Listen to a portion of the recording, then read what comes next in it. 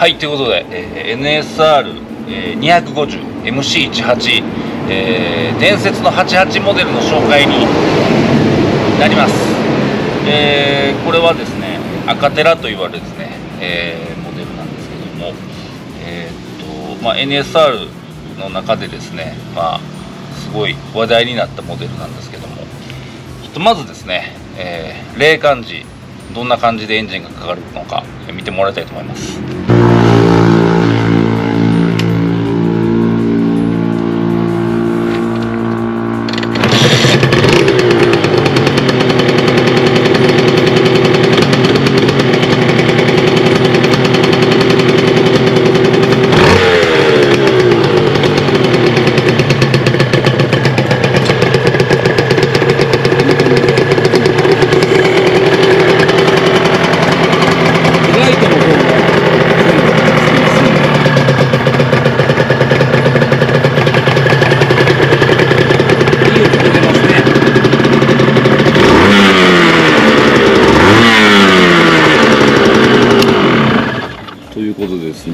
よく、えー、チョークを引かずにもですねエンジンがかかる状態になっておりますはいでちょっと紹介なんですけども、えー、コックの方はですね車外の新品のコックを入れてますでえー、っとチェーンも新品を入れておりますえー、キャブの方はですね、え、フロートバルブとフロートの当たり面のガスケットは新品を入れております。はい。あとですね、キーですね。まあ中華なんですけども、え、3点が1本で動くように新品を入れております。はい。で、先ほどもちらっと見てもらったように、透過類すべて OK ですね。ウインカー、ライト、リア、全部ちゃんと光ります。ただ残念なのが、こういうちょっとカウルの割れとか、ここのひび割れとかですね。まあ、タイヤは、まあ、溝はあるんですけども、交換した方がいいと思います。はい、フロントブレーキのパッドも交換した方がいいと思います。まあでもこの車両のいいところはフレームですね。フレームがすごく綺麗です。でタンクの中もですね錆がほとんどない綺麗な状態になっております。はい。でミラーこれ純正ですね。純正のミラー。であとこのカウルペンあのなんていうスクリーンが欠品しております。全体としてね割とスイングワームも割と綺麗なんでベースとしてはすごい最適なのかなと。思っております。なのでまとめますといいところはまあこれで走るっていうことですね。実動だということです。コンプレッションゲージで、えー、フロントバンクリアバンクともコンプレッションゲージでえっと圧縮比8以上ありますんでそれも確認してます。でセンターシールは40分ぐらい見たんですけどあの漏れてなかったです。はい、で、えー、っと、あとはそうですね、まあ、悪いところで言ったらさっきのカウルの割れ、タイヤ交換時期、あとそれと、ブレーキパッドはですね、もうやっぱ交換した方がいいと思います。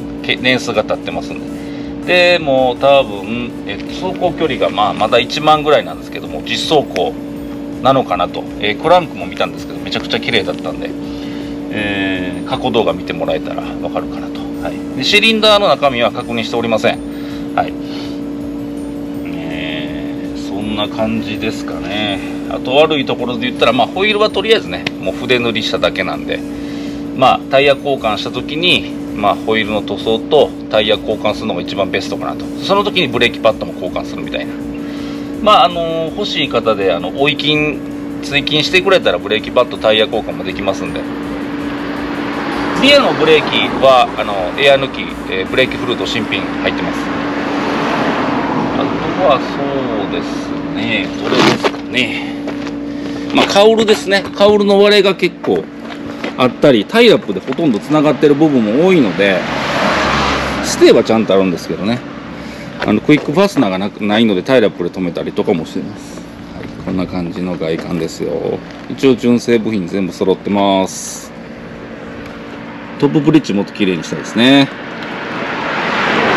走行距離1万484はい。メーターケーキ全部間違いなく動きます。まあ中華カウルを買ってパリッと新品で組み付けるのもいいかもしれません。でインナーチューブなんですけども。一応点々っていうとこもあるんですけども、えー、錆切りをしまして、今のところこのカバー、シール漏れしておりませんので、フロントフォークも今のところ使えると思います。はい。えー、はい。ディスクの厚みも結構ありますね。はい。そんな感じです。シートがちょっとね、これあの、もともと劣化してたやつを張り替えたんで、中のスポンジ入れ替えたらもっとクオリティ高く作れると思います。カウルあとね、塗装自分でやられたらもっと綺麗になると思いますよ。はい。そんな感じでございますね。ちょっともう一回、ギアを入れて動くところを見せたいと思います。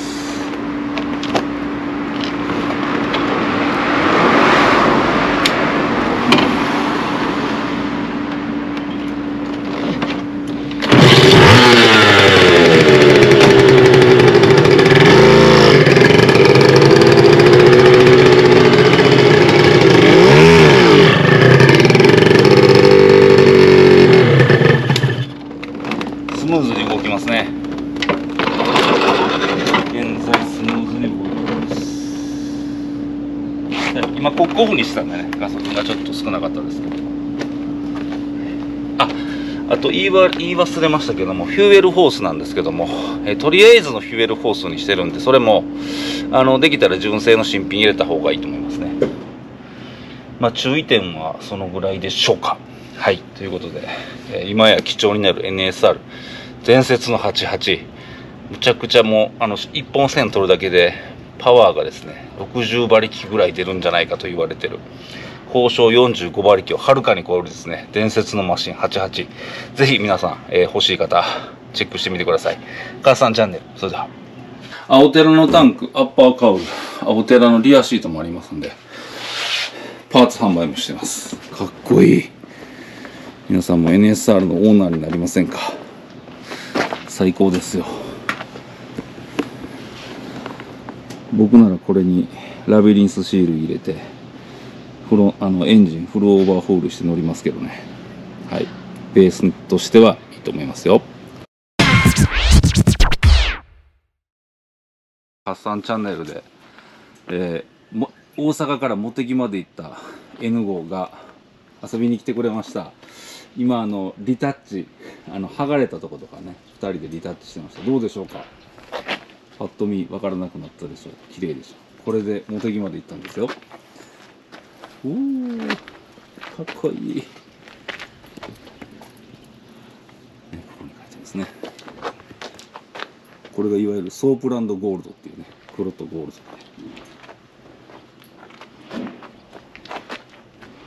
ド。オーナーのしっぽくんです。じゃーん。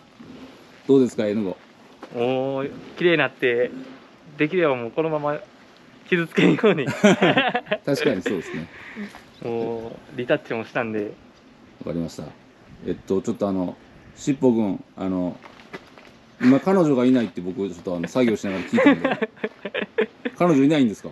全然いないです。どんな彼女が欲しいんですか？どんな彼女？やっぱバイク乗れる人ですか？まあそれがやっぱりできれば。できれば。わかりました。じゃああの身長何センチでしたっけ？173センチ。173センチしっぽくん。N5 乗ってます。一緒にバイクツーリングできる彼女募集してるんで、えー、皆さんあのよかったら加算チャンネルメッセージください。せーの。加算チャンネル。そしてこの NSR ね。お仲間さん大募集してるんでよろしくお願いします。いや今日は天気がいいんでね。この後も気をつけてツーリング行ってください、はい、それではさよなら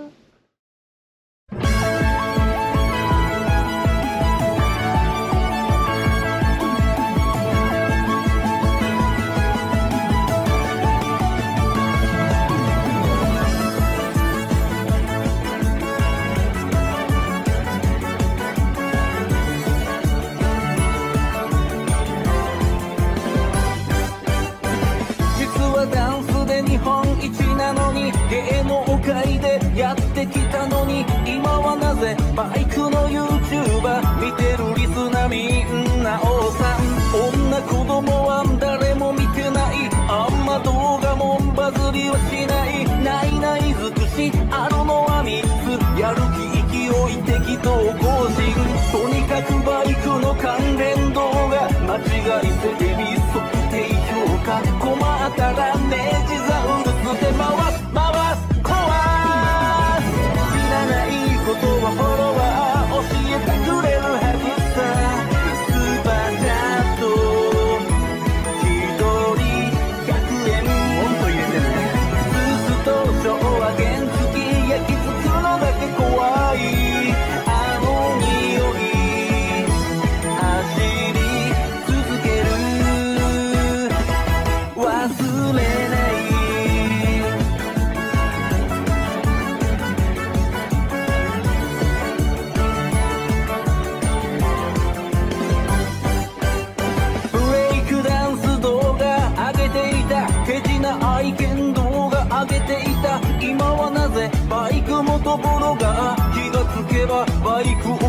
く場所ない若い人たち誰も見てない困った時の NSR それが伝説原付冒険無茶を承知でどこまでも走る。とにかくヤフモクでバイク仕入れ解体屋の仕事でパーツゲット。回らなければパークリファイア。